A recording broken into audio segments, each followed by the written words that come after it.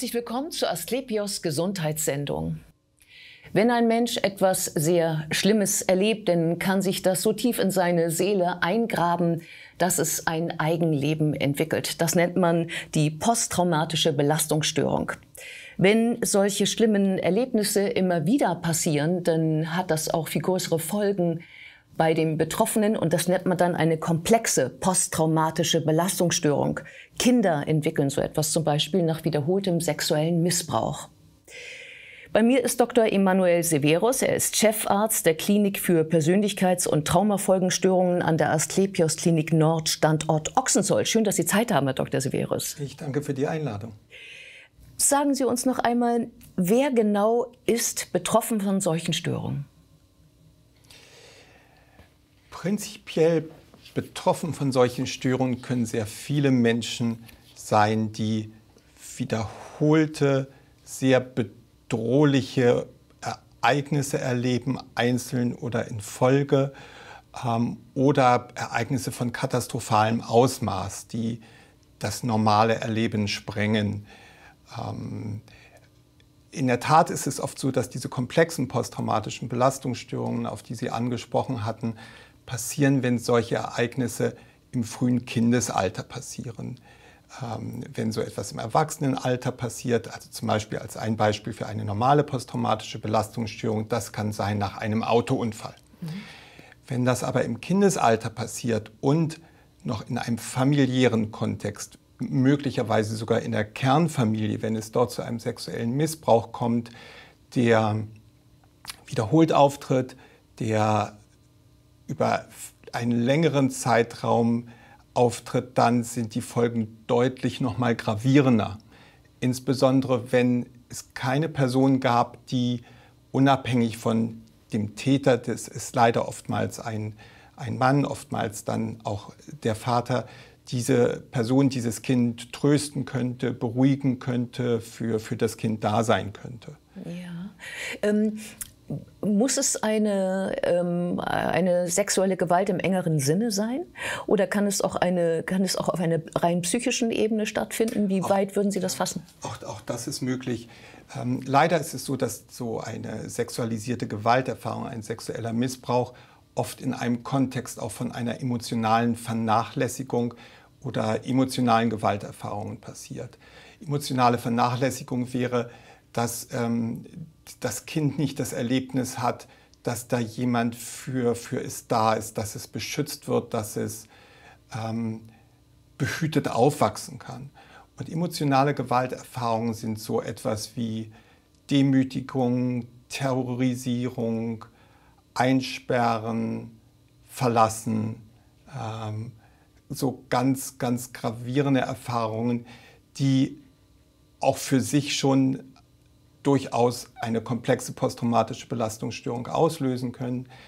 Was die, der klinische Alltag allerdings zeigt, dass, ist, dass sexueller Missbrauch oftmals in Kombination mit diesen beiden anderen, also emotionaler Vernachlässigung mhm. und emotionalen Gewalterfahrungen auftritt, weil, ist glaube ich auch ein bisschen nachvollziehbar, in einem behüteten, in einem behüteten Elternhaus würde es nicht vorkommen, dass so etwas wiederholt stattfindet, wenn es dann noch einen anderen Elternteil gibt, der ansprechbar wäre. Ah, Aber ja. oftmals ist es leider so, dass dieser andere Elternteil wegguckt, ignoriert, mhm. bagatellisiert, äh, gegebenenfalls irgendwie noch die Schuldzuweisung dem Kind gegenüber macht. Und das ist dann schon ein, ein, ja, ein Schreckensszenario. Ähm nun sprechen wir ja über ein Krankheitsbild, also die posttraumatische Belastungsstörung. Man kann sich vorstellen, dass die Kinder sehr belastet sind, aber wie äußert sich das? Gerne. Ähm, das sind ganz unterschiedliche Symptome. Ich glaube, wenn, wenn wir uns mal überlegen, die, die, wenn ein Kind so eine Erfahrung macht, dann führt das zum Verlust jeglichen Sicherheitsgefühls. Ähm, wo wir oder wo normale Kinder aufwachsen in der, in der Vorstellung irgendwie, dass, dass die Welt vielleicht kein guter Ort ist, aber äh, vorhersehbar, äh, beherrschbar, dass Dinge sich fügen würden. Es ist für Kinder, die so etwas erleben, genau das Gegenteil. Äh, es gibt keinen sicheren Ort. Äh, was dann als eine Folge ähm, ist, dass diese Kinder ein permanentes Bedrohungserleben oftmals haben. Äh, das heißt, sie gehen davon aus, dass letzten Endes jeder Mensch, äh, der, der rumläuft, potenziell bedrohlich ist. Es gibt kein Sicherheitsgefühl im Alltag, in Beziehungen. Und das ist ein, etwas ganz Gravierendes. Wir haben als eines dieser Symptome diese Hypervigilanz, diese erhöhte Wachsamkeit, mhm. diese auch massive Schreckhaftigkeit, die wir sehen. Ähm, ein anderes Symptom ist oft, oder nicht nur, es ist ein, ein typisches Symptom, ähm, das, was wir als Intrusionen oder Flashbacks bezeichnen. Das heißt, das sind Erinnerungsfragmente von diesem traumatischen Ereignis, die unkontrolliert, unverhofft, überfall, überfallartig einbrechen in den Alltag und sich sehr gegenwärtig anfühlen. Ja. Äh, bedrohlich. Und teilweise bei Flashbacks ist es vor allem so, dass teilweise diejenigen dann nicht mehr unterscheiden können, was eigentlich gerade Realität ist und was nicht. Das heißt, teilweise kommt es zu Verkennungen des Partners, der dann als Täter zum Beispiel angesehen wird. Ähm, das ist etwas, was ja unverhofft oft reinkommt und ähm, als ähm, ja, be bedrohlich erlebt wird. Und die, ähm, was in der Folge dann oft passiert, ist, dass diejenigen natürlich versuchen, so etwas zu vermeiden. Mhm. Und das kann ähm, dann so aussehen, dass sie jegliche Situationen, die als Trigger dienen könnten, meiden oder dass sie sich permanent beschäftigen, um möglichst gar nicht die Möglichkeit aufkommen zu lassen, dass solche Trigger wirksam werden und sie so etwas wieder erleben. Aha, das heißt also ähm, eine erhöhte Aktivität, also äh, entweder das, das kann dass man sein, also ein, ein permanent etwas tun, sich beschäftigen, ähm, um die Wahrscheinlichkeit für so etwas einfach zu, zu minimieren. Ja. Teilweise ist es auch ein, ein bisschen wie weggetreten sein, ein nicht richtig wahrnehmen, ähm, um überhaupt Gefühle dieser Art äh, möglichst ausschließen zu können. Ja.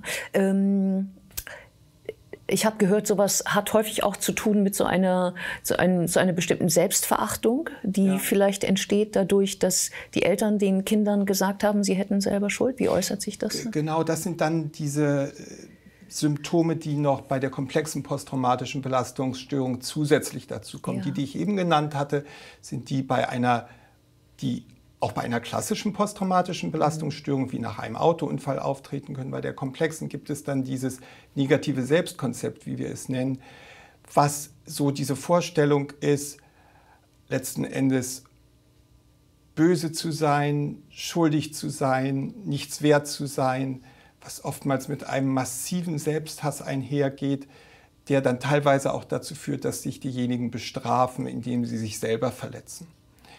Äh, anderes Symptom ist, dass die, diese Menschen sehr große Schwierigkeiten haben in Beziehungen, vor allem in engeren Beziehungen. Ist, glaube ich, auch ein Stück nachvollziehbar. Ja, ja. Zum einen, weil sie Menschen generell aufgrund ihrer Erfahrungen misstrauen. Mhm. Da werden enge Beziehungen einfach schwieriger. Und der andere Punkt ist sicherlich auch, dass sie gar nicht wissen, wie engere Beziehungen so funktionieren, weil mhm wenn wir einmal das Beispiel nehmen, dass der Vater das eigene Kind missbraucht, ähm, dann ist ja eigentlich diese Kernfamilie von, von, Eltern und Kind ist ja eigentlich ein, ein Hort der Sicherheit. Mhm. Äh, das, das, Kind, gerade wenn es noch jung ist, ist ja vollständig darauf angewiesen, dass die Eltern für, für es sorgen. Ja. Ähm, und was dann Kinder erleben, ist, dass diese guten Eltern, wie sie für, für Kinder notwendig sind, um groß werden zu können, wenn die dann so etwas machen, dann heißt es ja für das Kind irgendwie, dass es offenbar böse ist, schlecht ist, es mhm. nicht anders verdient hat, zumal, wie Sie vollkommen richtig sagten, teilweise das den Kindern ja auch noch selber gesagt wird. Wie können Sie dann helfen, wenn so ein Kind zu Ihnen kommt? Oftmals kommen diese Kinder, weil wir ja in der Erwachsenenpsychiatrie sind, halt erst, wenn sie, wenn sie 18 Jahre alt sind. In der Kinder- und Jugendpsychiatrie ist es schon früher. Aber was versuchen wir, wenn diese Kinder zu oder wenn diese dann ehemaligen Kinder zu ja, uns kommen, ja. ist, glaube ich, das erste ist eine Anerkennung des Weges, den diese Kinder gemacht haben. Mhm. Die haben überlebt. Ja, genau, sie leben noch. Ähm, die haben das geschafft, trotz widrigster Umstände zu, zu überleben und sogar den Weg in die Therapie zu finden.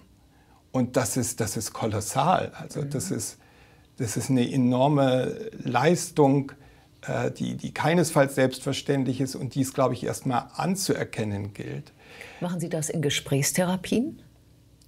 Ja, das, ist, das sind Kontakte natürlich mit Ärztinnen, Ärzten, mit Psychologinnen, Psychologen, äh, aber was auch vom Team getragen wird. Das ist, wenn man so will, ein, eine, eigentlich eine Selbstverständlichkeit, die wir aber oftmals glaube ich, gar nicht genug berücksichtigen. Wir versuchen öfter dann, glaube ich, manchmal ein bisschen zu schnell voranzugehen. Mhm. Und ich, meine Erfahrung ist, aber unsere Erfahrung ist, dass das so ein ganz, ganz wesentlicher Bestandteil ist, erstmal die, diese Leistung anzuerkennen.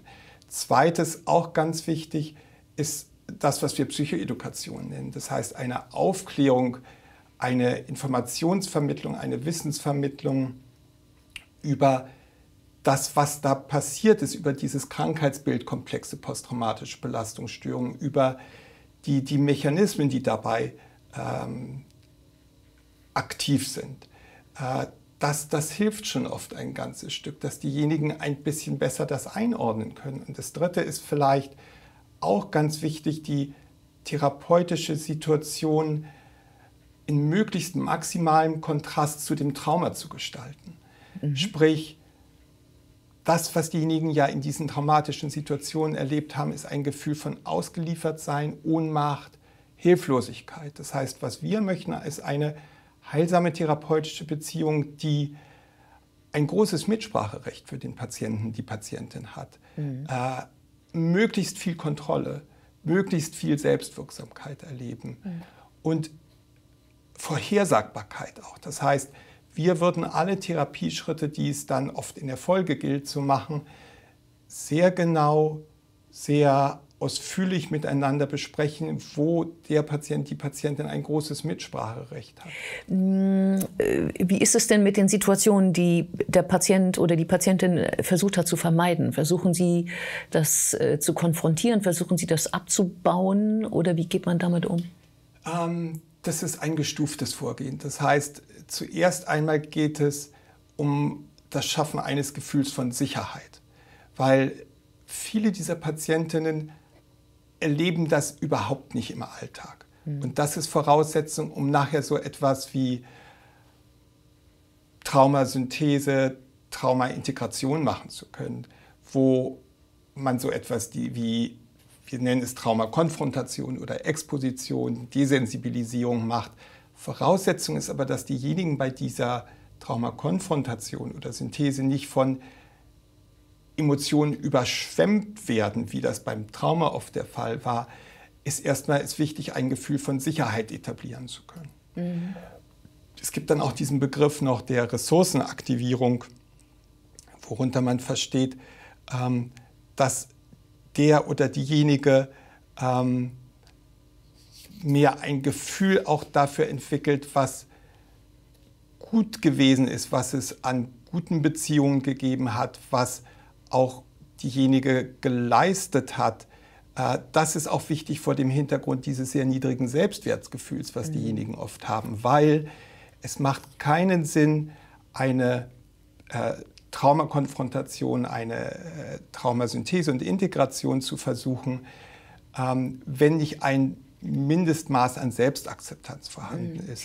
Sonst, sonst kann es passieren, dass in diesem ähm, Verfahren derjenige zu dem Ergebnis kommt, stimmt, ich bin schuld gewesen.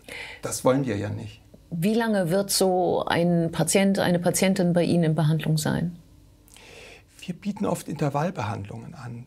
Sprich, in diesem ersten in dieser ersten Phase, was oft sechs Wochen, acht Wochen sind, äh, machen wir es noch gar nicht so, dass wir diese Traumakonfrontation machen, sondern da geht es darum, Ressourcen zu aktivieren, eine Vorstellung davon zu bekommen, was passiert ist, äh, ein Sicherheitsgefühl zu entwickeln, äh, Skills zu vermitteln, um mit stärkeren Emotionen auch umgehen zu können, mhm. damit wir dann in einer späteren Phase ähm, dann so eine Traumakonfrontation machen können. Mhm. Weil das beinhaltet letzten Endes eine dosierte Mobilisierung ähm, von diesen intrusiven Elementen, stückchenweise, fein dosiert, damit sie nicht überfordern, damit sie nicht überfluten. Vielen Dank für das interessante Gespräch. Sehr gerne. Und wir sehen uns wieder auf www.asklepios.com, auf Facebook und auf YouTube. Werden Sie gesund.